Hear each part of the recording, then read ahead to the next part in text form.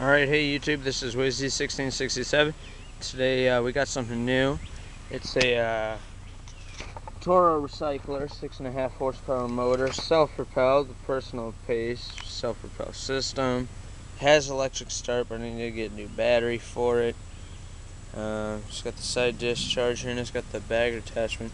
I do not have the bagger, and it works fine, so...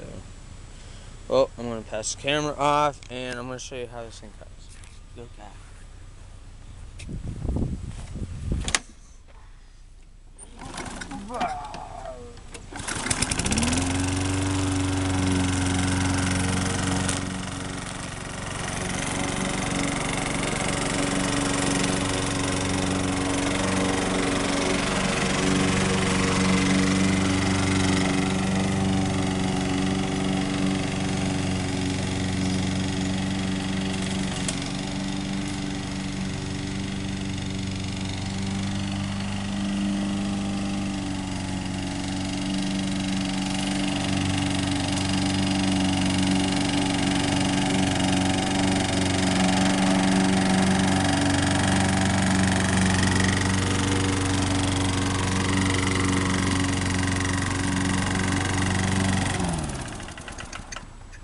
Well, I hope you enjoyed the video, and as always, have a nice day.